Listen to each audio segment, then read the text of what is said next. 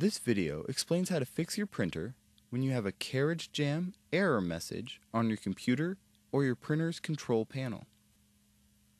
Let's ensure that there is no paper or other obstruction blocking the carriage path. Clear the paper jam from the back of the printer first.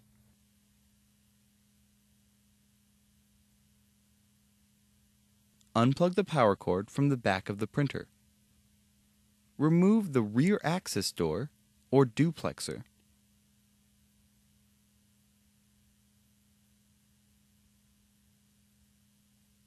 Check the printer for jammed paper.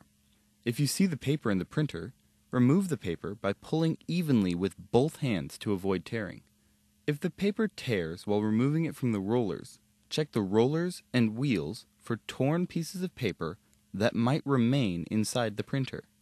If any torn pieces of paper remain inside the printer, more paper jams are likely to occur.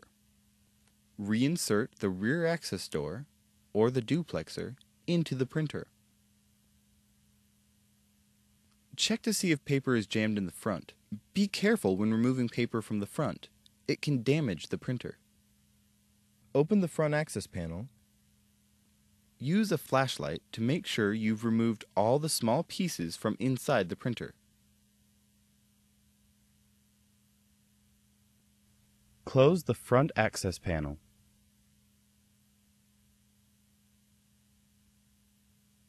Plug the power cord back in.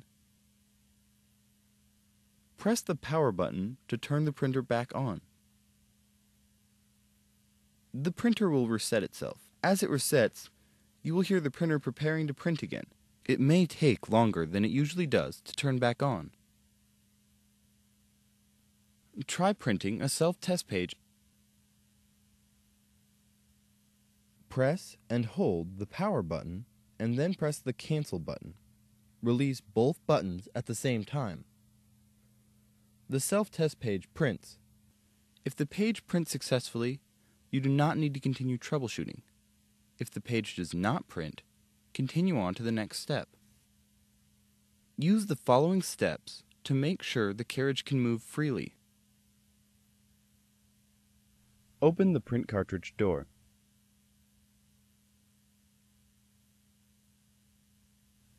Open the front access panel. While the printer is still on, disconnect the power cord from the back of the printer.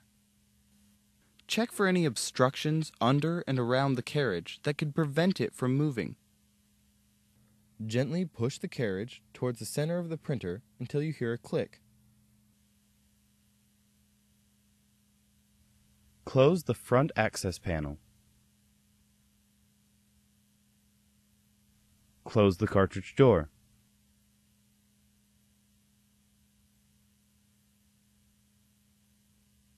Reconnect the power cord to the back of the printer. Press the power button to turn the printer on. Try printing a self-test page again.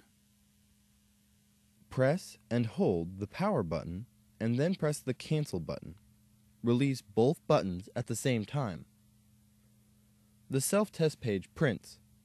If the page prints successfully, you do not need to continue troubleshooting. If the page does not print, continue on to the next step. If the error message still displays, it might not be the printer. The power source might be the issue. Check the power source by first disconnecting the power cord from the printer. Then, disconnect the power cord from the power strip or surge protector it's plugged into. Plug the power cord into a wall outlet. And then plug it back into the printer. Press the power button to turn the printer on. Try printing a self-test page again. Press and hold the power button and then press the cancel button. Release both buttons at the same time. The self-test page prints. If the page prints successfully, you do not need to continue troubleshooting. If the page does not print, continue on to the next step. Sometimes the issue can be resolved by resetting the printer. Press the power button to turn the printer off. Disconnect the power cord from the back of the printer. Wait 60 seconds. Reconnect the power cord to the back of the printer.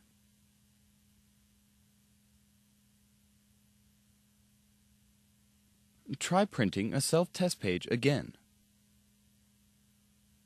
Press and hold the power button and then press the cancel button. Release both buttons at the same time. The self-test page prints. If the page prints successfully, you do not need to continue troubleshooting. If the page does not print, continue on to the next step. Sometimes, improperly inserting cartridges can cause a carriage jam. Let's make sure that the cartridges are properly inserted. To make sure the cartridges are in correctly, first press the power button to turn the printer on.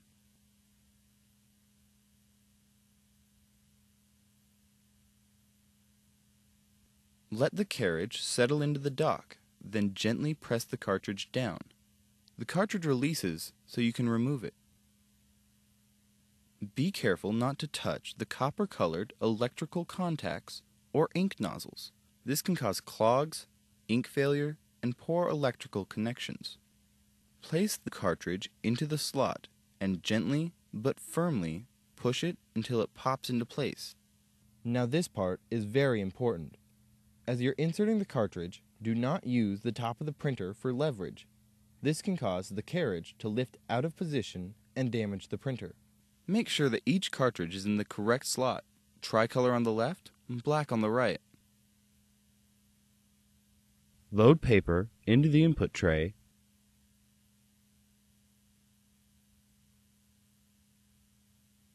and then close the cartridge door. Try printing a self-test page again.